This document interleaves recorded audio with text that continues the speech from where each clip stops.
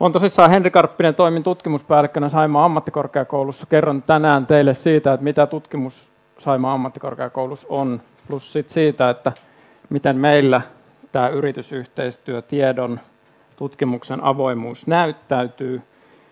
Ihan lyhyesti, jos ei ole tuttua, että minkälaista tutkimusta ammattikorkeakoulussa tehdään, niin, niin äh, aika samantyyppisiä rahoitusinstrumentteja meillä tietysti on tuolla listalla kuin yliopiston puolellakin. Ja tota, ennen kaikkea meidän osalta, niin missä nyt ollaan sitten pienestä koostamme huolimatta vahvistettu asemia, niin on tämä tekesrahoitus sekä julkisen tutkimuksen että sitten näistä LUTin kanssa yhteisesti toteutettavissa tutlihankkeissa. Sitten jonkun verran ollaan oltu mukana yritysten tekeshankkeissa, valmistelussa ja toteutuksessa. Sitten meille ehkä perinteisempiä rahoitusmuotoja nämä EUn kansalliset rakennerahastot, siellä lähinnä nämä kehittämishankkeet ja sitten tuolla on joitakin noita muita. Muita juttujakin vielä tarjolla. Syy, miksi otin tämän esille, niin yrityspuolella sekä sitten korkeakoulusektorilla selvää se, että mitä se ammattikorkeakoulujen mahdollistama tutkimustekeminen sitten on. Eli, eli tota, kun meilläkin ei siis käytännössä tehdä yhtään ainutta tutkimushanketta omatoimisesti, että aina yliopisto tai korkeakoulukumppani siinä on mukana, niin yleensä ne meidän menetelmät ja edellytykset sille tuottamiselle on ihan täysin identtisiä, joko sitten rahoittajan ohjaamana tai muuten käytännön syistä kuin, kuin yliopistopuolellakin. Ja vaikka meillä julkaisuvaatimuksena virallisesti ei ole tieteellinen julkaiseminen, eikä siitä meillä erityisesti palkita, että tehdään tieteellisiä julkaisuja, niin niin rahoittajat tänä päivänä niin kyllä ohjaa aika vahvasti siihen suuntaan, että, että siellä sen tyyppistäkin julkaisumateriaalia pitää olla. Kehittämishankepuolella tietysti tämän tyyppinen julkaisuminen on mieluumminkin ehkä kiellettyä. En ole mikään avoimen tieteen tutkimuksen tiedon asiantuntija ja sen, jäl- sen vuoksi jouduin itse kurssittamaan itse itseäni avoimesta tiedosta ja tieteestä. Mitä se oikeastaan tarkoittaa? Eli osallistun toki tutkimuspäällikön toimen ohella niin tutkimushankkeiden tekemiseen ihan käytännössä.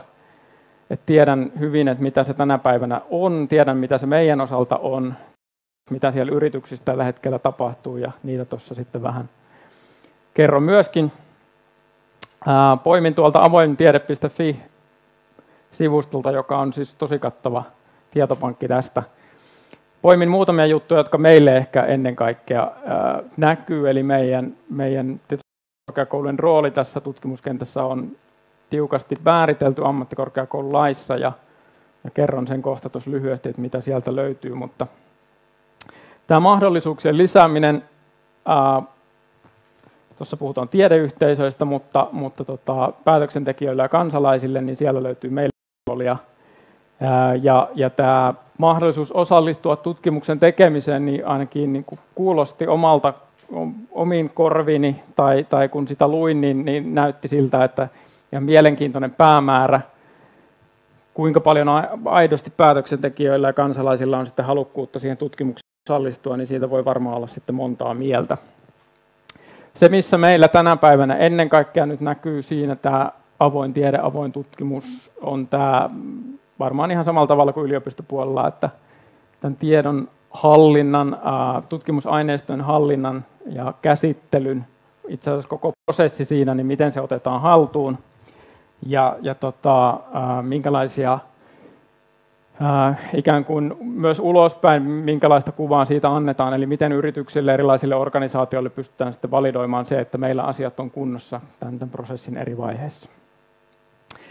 No sitten näistä hienoista päämääristä huolimatta, niin, niin tota, käytännön realiteetti näyttää olevan sekä tutkimuspuolella että sitten yrityspuolella. Tässä viitattiinkin tähän yritysten omaan tutkimustoimintaan, joka niin kuin tontti kapenee koko ajan ja resurssit kapenee koko ajan. Niin, niin äh, ihan tämän kevään kokemusten viime talvenkin ajalta, niin sekä yrityspuolella että tutkimuslaitospuolella niin tämmöinen tietynlainen suojausmekanismi on käynnistynyt, eli, eli kun koetaan se oma tai oman tiimin tai, tai tutkimusryhmän asema uhatuksi, niin tietyllä tavalla se muuttaa sitä tekemistä aika radikaalisti.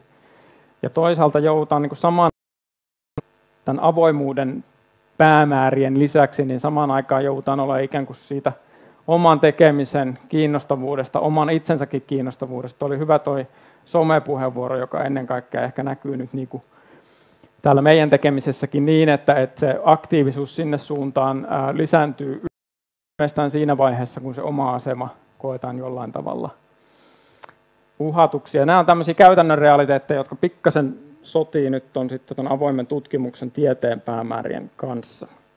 No, matka jatkuu kohti käytäntöä.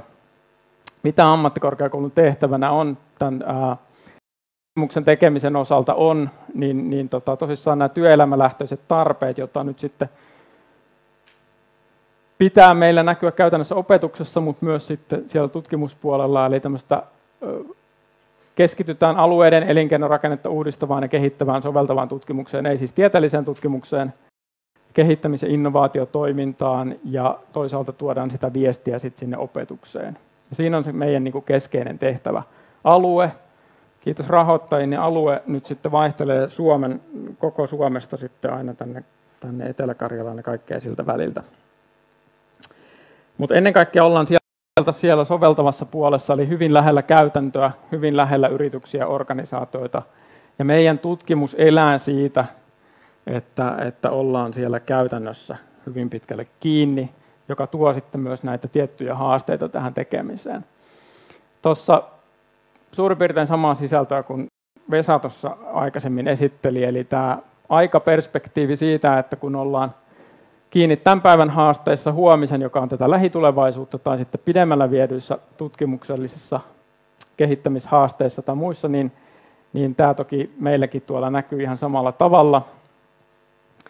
Eli mitä lähempänä sitä tätä päivää ollaan, niin sen kiireempiä, kiireempi tuntuu olevan ää, vahvempi elementti, ja sitä vähemmän se tekeminen on avointa, eli ihan sama kuin Vesa tuossa totesi. Ja aika vähän ainakaan meidän noissa yhteistyö-, kehittämishankkeissa on tullut vastaan sit yritykset hirveästi kantaisi huolta tai organisaatiot kantaisi hirveästi huolta siitä avoimuudesta. Eli, eli, eli tota, tämä ei ole ainakaan oman kokemuksen mukaan sellainen aihe, johon niin päivittäin, viikoittain tai edes kuukausittain törmäisi. Ja, ja samalla niin varmaan koske pelkästään ammattikorkeakoulujen toteuttamaa tutkimusta, koska yrityksille se taas nyt ei niin tekemisen kannalta hirveästi erilaisena näy, mutta tämä tutkimuksen arvostuksen väheneminen, en tiedä onko hallitusohjelma vai minkä seurauksena, mutta tota, joka tapauksessa niin tämä tämmöinen tietty arvostus on, on ihan selkeästi nähtävää. Ja sitten tämän, oli se sitten meidän tutkimusihmisiä tai varmaan yliopistopuolellakin, niin tämä, missä aikaisemminkin jo viitattiin siihen, että, että ei ole tehtävä olla konsultti, puoli-ilmainen tai täysin ilmainen, niin tota, useimmiten sit se tutkija siellä yrityksessä joka tapauksessa joutuu kohtaamaan ne samat ehdot kuin se konsultti. Eli, eli samat säännöt, säännöt pätee siellä, joka sitten taas sen tutkimuksen tekemisen kannalta niin ei välttämättä ole aina se paras mahdollinen tilanne. Ää, ja Tämä, mistä edellinen puhuja viittasi tästä tiedon avoimuuteen liittyen, että, että on hirmu hyvä myyntiargumentti, niin ihan sama kokemus itsellään on tuosta, että, että jos sillä kärjellä lähtee liikkeelle, että nyt meillä on tässä päällimmäisen ajatuksena se, että nyt tehdään avoimin, avoimen tutkimuksen periaatteen mukaisesti tätä tutkimusta, niin se ei välttämättä ole se semmoinen ensimmäinen hyvä argumentti.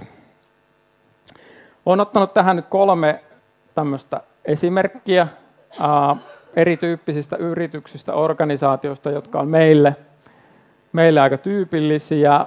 Tämä mainittiinkin, tämä salassapitosopimus tuossa jo äskettäin, eli, eli tämä on hyvin tyypillinen tilanne, vaikka kuinka on kysymys Tekesin julkisen tutkimuksen rahoituksesta ja julkisen tutkimuksen säännöistä, niin se salassapitosopimus siellä hyvin nopeasti aika monessa yrityksessä tulee vastaan, joka on tietynlainen tämän hetken ehkä semmoinen avoimuuden lähtökohta monessa paikassa.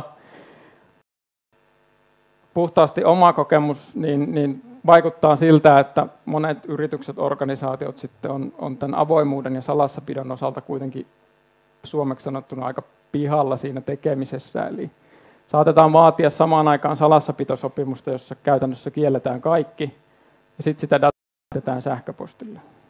Tämä on niin kuin se, aina ne ei mene ihan linjassa toisiinsa. Tuossa mainittiin, että PK-yritykset jollain tavalla on iso, erilaisia kuin nämä suuret yritykset.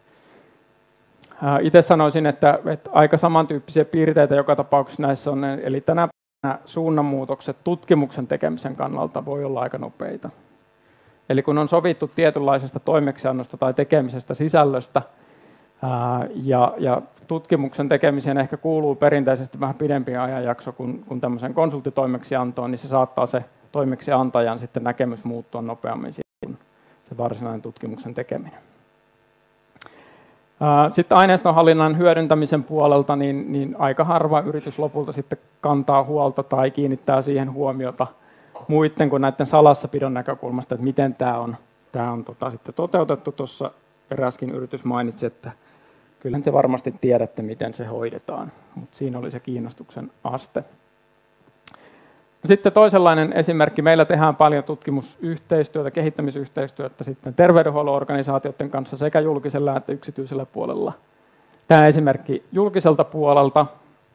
avoimuuden lähtökohta ei ehkä niin tiukka tämmöinen salassapitosopimus, mutta, mutta usein tutkimuslupa on semmoinen niin keskeinen asia, mitä pitää olla. Ja, ja sitten jos mennään henkilöihin, joko henkilöstön tietoihin, näkemyksiin tai sitten potilaisiin kiinni, niin potilaiden tietoja käsittelemään, niin sitten tämmöinen eettinen arviointi, eli sieltä tulee sitten päätös siitä, että minkälaisilla edellytyksillä sitä tutkimusta saa toteuttaa. Yleensä hyvällä tutkimussuunnitelmalla näiden, näistä selviäminen ei ole mikään ongelma, mutta ajallinen viive on aika pitkä. Eli siihen käsittelyyn saattaa mennä aika pitkäkin aika. Pääsääntöisesti näissä tutkimustiedon kerääminen olla vain sitä, mitä tutkimussuunnitelmassa on todettu, ja, ja ton ää, datan laadun suhteen, mikä ainakin itteni tutkimuspuolella kiinnostaa kovasti, niin, niin tota, siellä on ehkä helpommin saatavissa hyvinkin rikasta, mielenkiintoista dataa verrattuna sitten taas yrityspuolelle. Nimenomaan nyt ehkä sitten sieltä julkisen puolelle. Ja siellä pääsääntöisesti osaaminen on aika hyvällä tasolla, eli, eli meille tutkijoille – harvoin enää tulee sellaista dataa, jota ei olisi jollain tavalla suojattu tai salattu, eli se yksilöitävyys siellä ei ole enää, enää tota niin, ei ole enää oikeastaan tätä päivää, että ne on sieltä peitetty riittävin osin. Ja tuota, siellä ehkä tällä hetkellä on se asennemaailma nyt sit, johtuen varmaan tästä sote-maailman murroksesta ylipäätänsä, niin tota, tietynlainen ehkä enemmän löytyy kiinnostusta tutkimusmetodeihin, malleihin, miten ne on toteutettu, sekä lisäksi vielä näihin tuloksiin. Ja tämä näkyy taas sit siinä, että miten käytännössä niitä hankkeita, tutkimuksen tekemistä käytännössä sitten siellä organisoidaan. Jotta aika riittää, niin mennään vähän enemmän vauhilla. Sitten on tämmöisiä, ehkä semmoisia voisi sanoa, että nousevia tyyppejä esimerkkejä. Eli, eli tässä on tämmöinen ohjelmistoyritysesimerkki. Tämä on esimerkiksi Tekes-hankepuolella alkaa olla aika tuttu asetelma, eli, eli yritys rajaa oman toimintansa ikään kuin tutkimushankkeen tietyllä tavalla ulkopuolelle, mutta tarjoaa sisältöä tutkijoiden käyttöön. Eli, eli rinnalla menee ikään kuin se yrityksen oman liiketoiminnan kehittäminen, oli heillä sitten omaa hanketta siihen tai ei, ja sitten se julkinen tutkimus siinä rinnalla, jossa on mahdollisuus hyödyntää yrityksen näkemyksiä, mutta varsinaisesti sitä dataa ei itse asiassa niin kuin perinteisessä mielessä luo anneta enää sille tutkijalle. Eli siihen pääsee, saa niin pääsyn käyttöoikeuden. Tästä käytännön esimerkkinä se, että voidaan yrityksen tiloissa, yrityksen laitteella hyödyntää jotain dataa, mutta sit sitä ei saa niin perinteisesti omalle pöydälle analysoitavaksi. Eli silloin siitä on tietysti erilaisia variaatioita, mutta tämä on siinä mielessä mielenkiintoinen, että tämä tarjoaa sitä yritysmaailman, elinkeinoelämän tietoa käyttöä tutkijoille – mutta, mutta sitten molempien roolit on ikään kuin hyvin tiukasti selvillä. Vähän yhteenvetoa. Ihan tuossa nyt kävin omista hankkeistani läpi, niin, niin mainintoja avoimesta tieteestä, tutkimuksesta, niin en löytänyt yhtään merkintää nyt näistä vaatimuksista, mitä meidän käynnissä olevista hankkeista, pois lukien ihan tämän vuoden puolella rahoitetut TEKES-hankkeet, joissa vaaditaan sitten jo tämmöistä avoimen julkaisun avoimen julkaisun julkaisusuunnitelmaa, mutta se oli ehkä semmoinen keskeinen poikkeus sitten näissä siellä. Mutta se varmaan sieltä nousee ja, ja meilläkin sen eteen nyt sitten tehdään töitä, että kun ne vaatimukset sieltä kasvaa, niin ollaan mieluummin vähän etukäteen. Yhä enemmän, tai yhä edelleenkin, niin, niin varsinkin meillä tämä soveltavan tutkimuksen rooli on sen tyyppinen, että meidän on pakko päästä sinne yrityksiin, organisaatioihin kiinni, siihen dataan kiinni. Ja ainakin toistaiseksi se on onnistunut melko hyvin sitten se, että mitä sieltä saadaan sitten julkaista ja mitä julkaista hankkeen tuloksena. Tässä tuli tässä olla edellisessä puheenvuorossa tai kommenteissa maininta siitä, että ikään kuin jätetään kertomatta, että jotain dataa on kertynyt tai jotain tuloksia on kertynyt, niin, niin se on tietysti sellainen ilmiö, joka ihan varmasti suurin osa meistä tietää, että tuolla ulkona kentällä on olemassa. Ja, ja vaikka tämä taustadata nyt ei olisikaan avointa, niin sillä tavallaan sen tutkimustuloksen, tutkimuksen tekeminen on mahdollista toteuttaa niin, että sitä, se tulos ja tutkimus on, on avoimempaa. Eli, eli missään nimessä se, että se taustadata on niin suojattua, salattua, niin ei tässä tapauksessa tarkoita sitä, että voisi ainakaan meillä noissa tuoda esille. Näissä tietysti pääsääntönä on se, että yrityksen organisaation pitää antaa erikseen sitten lupaa siihen, että sitä, eli käytännössä pitää kaikki hyväksyttää sitten että tämmöinen tietynlainen riippumaton tutkijan rooli niin ei ehkä sitten toteudu kauhean hyvin. Sitten sellainen ajatus, mikä tästä, tästä tota, tiedon hallintaan liittyen ja avoimuuteen liittyen, että mitä enemmän tavallaan sinne tulee automaattisia mekanismeja siitä, että oletetaan, että joku on avointa tai se on käytettävissä tietyllä tavalla, niin, niin itse on sen verran vanha-aikainen, että, että tavallaan se ihmisen rooli näissä näissä uusissakin mekanismeissa niin on tietysti toivottavaa, että se pystyisi siellä säilymään ja se tietty luovuus siellä. Siinä. Kiitoksia tästä.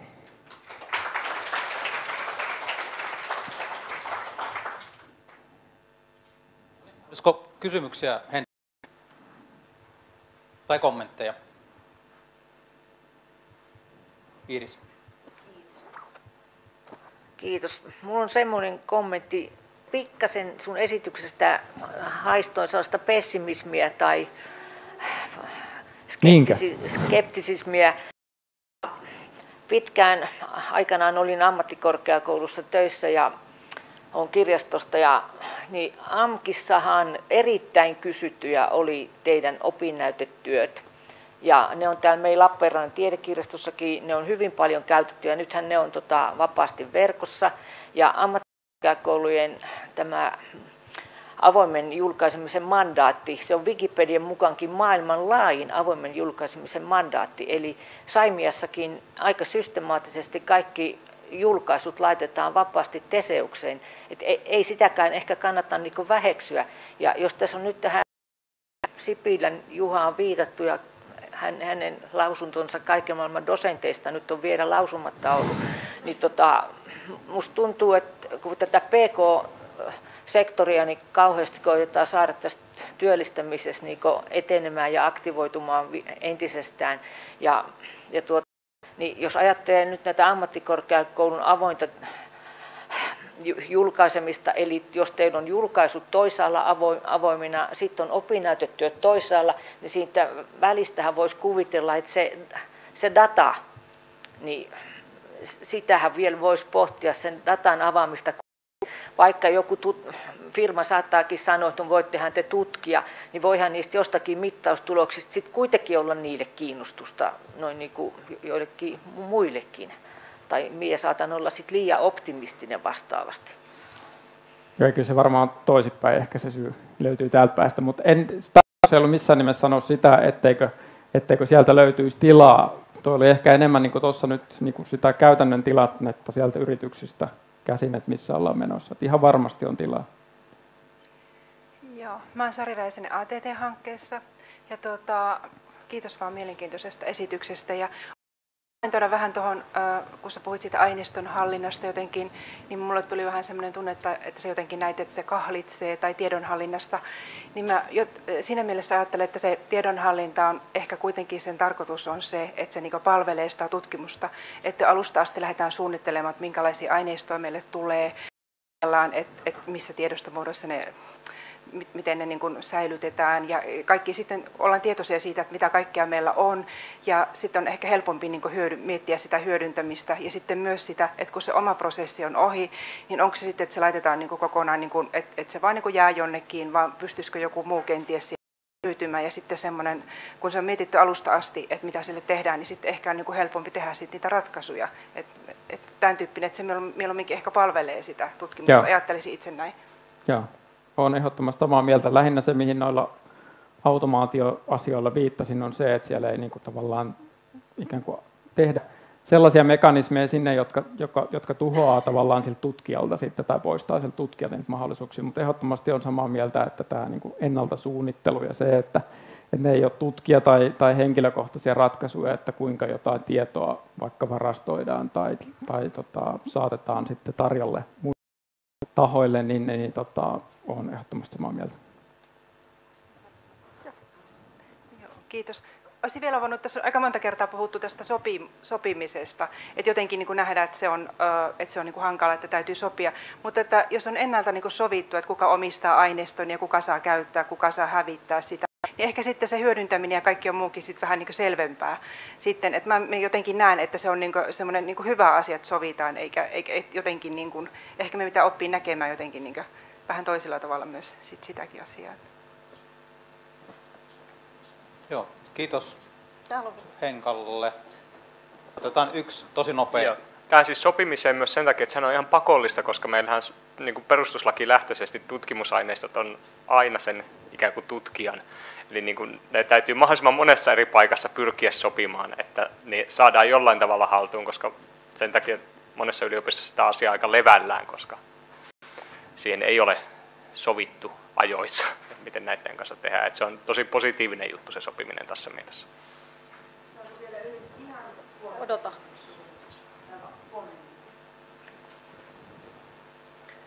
Kiitos.